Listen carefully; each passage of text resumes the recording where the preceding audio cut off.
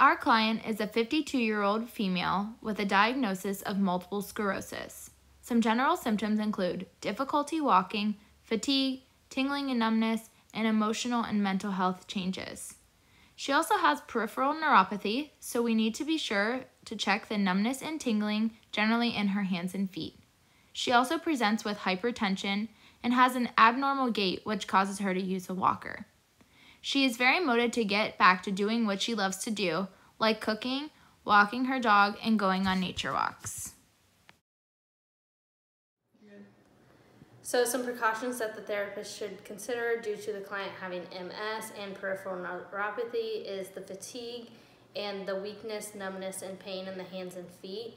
Um, she also has hypertension, so we need to make sure she's taking her blood pressure and taking the necessary um, breaks that she needs. She has a um, abnormal gait pattern, and we need to make sure that she's walking in the walker properly with good posture. Um, she feels unstable walking, so we need to make sure we have constant um, contact guard. She could have muscle spasticity due to the MS, and she does have painful muscle contractions. All right, we're gonna go over your medical history. Um, what's your quality of sleep, do you think, per night? Um, in terms of hours, maybe six. I feel like in terms of quality, it's not too bad. I do get up and like toss and turn a lot, um, just because I get like muscle cramps in the middle of the night. But overall, it's not terrible. So with pain, is it only at night or is it all the time? Um, it's intermittent throughout the day. On a scale of one to ten, how bad could it possibly be? Um, at its worst, I'd probably say a seven, but on average, it's probably around like a four or five. It's just like weakness and like sore. So you take the muscle relaxers and it helps with that? Yeah. Okay, um, have you had any falls recently? No, I haven't fallen, um, but you know, like I mentioned previously, I do feel unsteady sometimes, so the walker definitely does help. Okay. So are you currently on any medications? I do take medicine um, for high blood pressure, and I also have a muscle relaxer that I take. And how often do you take those? I take it around once a day, but the muscle relaxers I do take as necessary. Do you exercise, and how, if so, how often? I used to exercise a lot because I like to walk my dog and go hiking, but because of the fatigue and just how sore my muscles are, I can't exercise as frequently anymore. Um, but I would love to get back to doing that and getting able to get up and moving around. Have you ever thought about water exercises? No, I haven't, but now that you bring that up, that would be a good idea. They're great for MS clients. Oh, I'm gonna have to try that. So do you experience any stress? Yeah, a lot. Uh, so what do you do to participate in stress-related activities? I used to go on nature walks and walk my dog, but because of the walker and just like the fatigue, it, I find it really hard to get up and get moving a lot. Um, I like to watch TV, but that doesn't really help with reducing the stress. Okay, um, are you open to new resources to promote wellness? Yeah, absolutely. I just am not really sure what's quite available to me. Do you incorporate any modalities in your life to deal with pain and stress, such as ice packs, heating, um, essential oils, anything like that? Yeah, I do use ice and heat whenever my muscles are flaring up just to help calm them down, but other than that, I don't really use anything. Okay. So how's your balance? It's okay. I feel a little unsteady whenever I get up into the walker and I'm walking around, but I've had this for a while and it really does help me, but sometimes I am like unsure of myself. Okay, does this impact your day-to-day functioning? Um, I would say yes, just because I do want to get up and get around and get moving. I love to cook, so sometimes when I'm in the kitchen, like I just get a little nervous that I might fall over. Okay, so I'm gonna have you demonstrate how you use your walker. I'm gonna put this gait belt on you for safety, and then we'll have you start walking.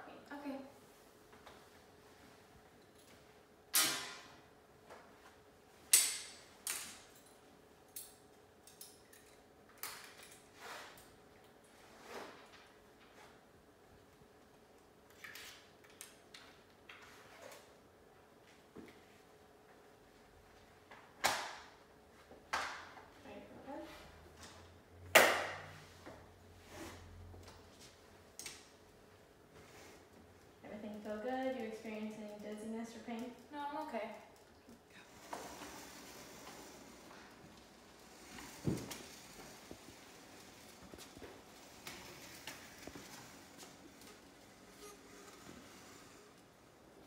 So you mentioned um, earlier you like to cook, but you have some difficulty with that. Can you show me some of the things you have problems with? Yeah, of course. Okay.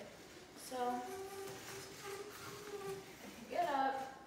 Um, so like this tall shelf, I like have a very hard time trying to get to. Okay. Um, so I usually ask like my husband for help. Um, that's also for shelves like that down there. Um, but then if we come over here, something like this, I'm able to reach and open. Um, but like plates like that, I got rid of in my house just because they're a little too heavy for me. So I got something a little bit lighter, um, so I can pull down. So the plastic ones work better for you. Yeah. So how are you feeling after that walk? I'm a little tired. You need to take a little break. Yeah, that's probably for the best. All right. Well, we're gonna practice your breathing right now. So you're gonna go in your nose, Okay. breathe into your belly, and then we're gonna let it out of your mouth. And while you're doing that, I'm just gonna go over some things I saw in our kitchen. So because of your um, difficulties reaching up in the cabinets, if you're up for it, we're gonna take some measurements. Okay. Um, I like that you have taken the initiative to take out the glass plates and get the plastic ones, but maybe we can uh, incorporate some assistive devices in to help you and put less stress on your body. Okay. So you're feeling okay? Yeah. Uh, can you bring your arms up to the sky as far as you can? Okay, Can you bring them out to the side? Mm-hmm. Can you bring them out back to the front and flat for me? Can you give yourself a hug? Alright, I see some difficulties with that, so I'm gonna go ahead and do your measurements. Okay. Straighten your arm. Alright, go ahead as far as you can. Is that as far as you can go? Yeah.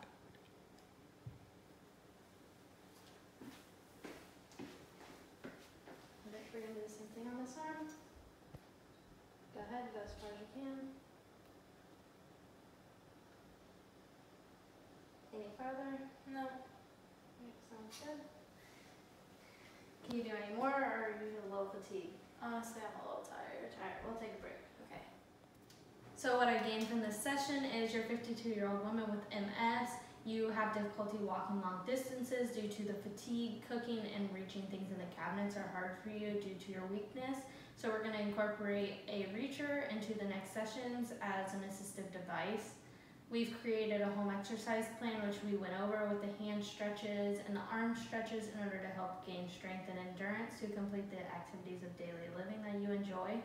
Um, we also recommend that you see physical therapy as well in order to focus on strengthening of your legs and work on walking properly with a walker. Right now, you're at a low risk of falling, but we may need to continue monitoring it. And one other thing I would recommend is um, with looking in your chart, I noticed that you have peripheral neuropathy. And with the numbness that this causes you, sores and cuts could form, and we want you to be aware of that. So, um, this may cause infections, and we're going to provide you with an extendo mirror to help monitor this. Perfect. Thank you.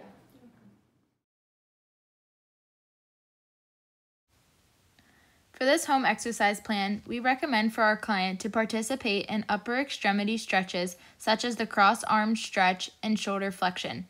Since the client has limited range of motion, we will have her husband help her and we will also help her in the clinic.